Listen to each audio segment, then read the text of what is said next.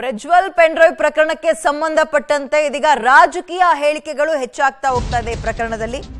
H D K ವಿರುದ್ಧ ಮಧುರ್ ಶಾಸಕ ಕದಲೂರು ಉದಯ್ ವಾಗ್ದಾಳಿ ನಡೆಸಿದ್ದಾರೆ.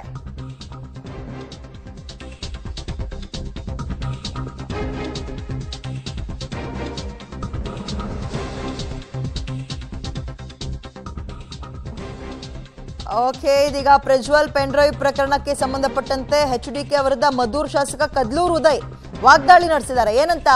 ಕುಮಾರಸ್ವಾಮಿ ಏನ್ ಸಾಚ ಅಲ್ಲ? ಕುಮಾರಸ್ವಾಮಿ ಪ್ರಜ್ವಲ್ ರೀತಿ ಪರಿಸ್ಥಿತಿಯನ್ನ ಎದುರಿಸ್ತಾರೆ. ಕಾಲ ಬದಲಾಗಿದೆ, ನಿಮ್ಮ ದಬ್ಬಾಳಿಕೆ ನಡೆಯಲ್ಲ ಅಂತ ಕಿಡಿಕಾರುದ್ರ ಮುಖಾಂತರ ಅದೀಗ ಆರೋಪವನ್ನ ಮಾಡ್ತಾ ಇದ್ದಾರೆ Kadaluru Uday. J D S ಪಕ್ಷದವರು ಸ್ಟ್ರೈಕನ್ನು ಮಾಡ್ತೀವಿ ಅಂತ ಎಲ್ಲ ತಾಲೂಕುಗಳಲ್ಲೂ ಸ್ಟ್ರೈಕ್ ಮಾಡ್ತಿದ್ದಾರೆ. ಆದರೆ ಯಾವ ಪುರುಷಾರ್ಥಕ್ಕೆ ಈ ಸ್ಟ್ರೈಕನ್ನು ಮಾಡ್ತಾವ್ರೆ?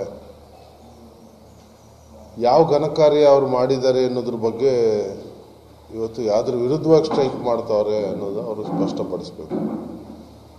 ಇವತ್ತು ಯಾರಾದರೂ ಜೆ ಡಿ ಎಸ್ ಪಕ್ಷದಿಂದ ಭಾಳಷ್ಟು ಜನ ಹೆಣ್ಮಕ್ಳು ಮರ್ಯಾದೆ ಇವತ್ತು ರೋಡಲ್ಲಿ ಹರಾಜಾಗ್ತಿದೆ. ಅವ್ರ ಕುಟುಂಬಕ್ಕೆ ಹೋಗಿ ಯಾರಾದರೂ ಕ್ಷಮೆ ಕೇಳಿದಾರ? ಅವ್ರ ಕುಟುಂಬಕ್ಕೆ ನ್ಯಾಯ ಕೊಡಿಸೋ ನಿಟ್ಟಿನಲ್ಲಿ ಯಾರಾದ್ರು ಹೋರಾಟ ಮಾಡೋರ? ಅವ್ರ ಕುಟುಂಬಗಳಿಗೆ ಧೈರ್ಯ ತುಂಬುವಂಥದ್ದು ಅಥವಾ ಬೇರೆ ರೀತಿ ಅವ್ರಿಗೆ ಅನ್ಯಾಯ ಆಗಿದೆ ಅದನ್ನು ಮಾನವ ಕೆಲಸ ಮಾಡಬಾರ್ದು ಅನ್ನೋದ್ರ ಬಗ್ಗೆ ಯಾರಾದರೂ ಧ್ವನಿ ಎತ್ತಿದಾರ? ಅಥವಾ ಇನ್ಯಾವುದಾದ್ರೂ ರೀತಿಲಿ ಯಾರು ಅದ್ರ ಬಗ್ಗೆ ಚಿಂತನೆಯನ್ನು ಮಾಡಿದಾರ? ಇವ್ರ ಮನೆ ಹೆಣ್ಮಕ್ಳೇ ಆಗಿದ್ರೆ ಇವ್ರು ಏನು ಮಾಡ್ತಾಯಿದ್ರು ಆ ಜಾಗದಲ್ಲಿ?